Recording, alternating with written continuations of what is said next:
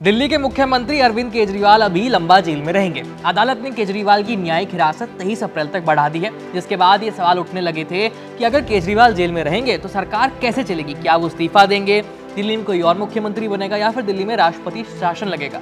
लेकिन अब इन सवालों पर रोक लग गई, क्योंकि केजरीवाल सरकार कैसे चलेगी, ये पता चल गया है। पंजाब के मुख्यमंत्री भगवंत मान और राज्यसभा सांसद डॉक्टर संदीप पाठक ने केजरीवाल से जेल में मुलाकात की और बताया कि केजरीवाल ही मुख्यमंत्री बने रहेंगे और अब दिल्ली की सरकार जेल से ही चलेगी, ये पक्का हो गया है। संदीप पाठक ने आगे बताया कि सीएम केजरीवाल ने जेल से ही विधायकों को 24 घंटे जनता के बीच रहने के लिए और उनकी तकलीफों को दूर करने का संदेश दिया है। केजरीवाल ने जेल से ही सरकार चलाने का आदेश दिया है। अगले हफ़्ते से मंत्रियों के साथ कार्यों की समीक्षा की बैठक भी करेंगे वो।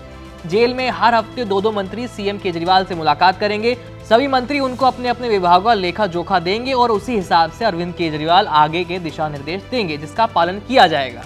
राज्यसभा सांसद पाठक ने जेल में मंत्रियों के साथ बैठक को लेकर कहा कि जो भी कानूनी प्रक्रिया होगी, उसी के तहत ये सारे काम किए जाएँगे। इसके अलावा पाठक का कहना है कि दिल्ली के बेटे अरविंद केजरीवाल को अपनी नहीं, बल्कि जनता की चिंता है। वो इस मुलाकात के दौरान केजरीवाल ने उनसे कहा था मेरी चिंता मत करो, मैं संघर्ष के लिए तैयार हूँ। हमें न्यायपालिका पर पूरा भरोसा है। हम सच्चाई और ईमानदारी से लोकतंत्र बचाने के लिए संघर्ष कर रहे हैं। अंत में जीत सत्य की होगी।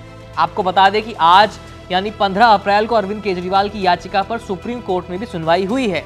सुप्रीम कोर्ट ने उनकी याचिका पर 24 अप्रैल तक ईडी से जवाब मांगा है। कोर्ट ने कहा है कि मामले की अगली सुनवाई 29 अप्रैल को शुरू होगी, उसी हफ़्ते में की जाएगी। उससे पहले सुनवाई करना इस मामले में सुप्रीम कोर्ट के लिए संभव नहीं है। इससे पहले दिल्ली हाई कोर्ट ने अरविंद केजरीवाल को राहत देने से इनकार कर दिया था।